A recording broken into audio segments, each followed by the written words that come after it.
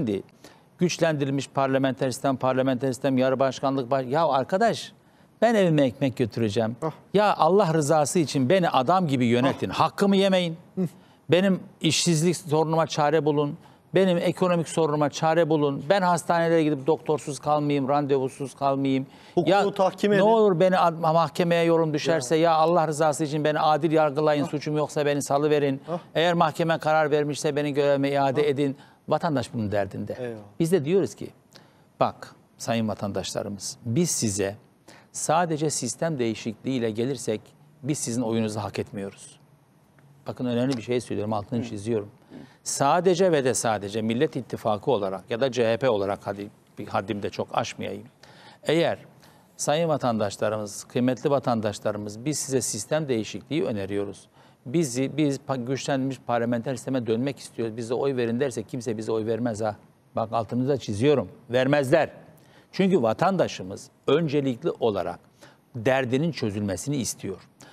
Biz de diyoruz ki bakın sizin derdinizi demin anlattığım şekliyle ekonomik sorunlar Başlıklar verdiniz. şu şu şu şekilde çözeceğiz. Bunun çözümü için başkanlık sistemi iyi bir sistem değil. Biz bunları çözerken acil sorunlarınızı hemen çözeceğiz. Acil sorunlarınızı Cumhurbaşkanlığı hükümet sistemi içinde çözeceğiz. Bakın acil sorunlarınızı 3-5 ay içerisinde işte yani asgari ücretin yükseltilmesinden tutun da işte 3600 ek göstergeye kadar aklınıza gelebilecek her türlü ekonomik ve sosyal devlet olmanın gere- gerektirdiği işleri derhal yapacağız. Ancak bu acil yangına su döken e, bir çözüm olacak. Fakat bizim orta ve uzun vadede e, sizi ve çocuklarınızı, torunlarınızı ilelebet refah içinde yaşatacak önerilerimiz var. Mesela hukukun üstünlüğünü biz bir dakikada sağlayamayız. Sağlayamayız. Ya. Bir dakikada olmaz bu iş. Elimizde sihirli değnek yok. Biz bir dakikada 100 tane fabrika açamayız.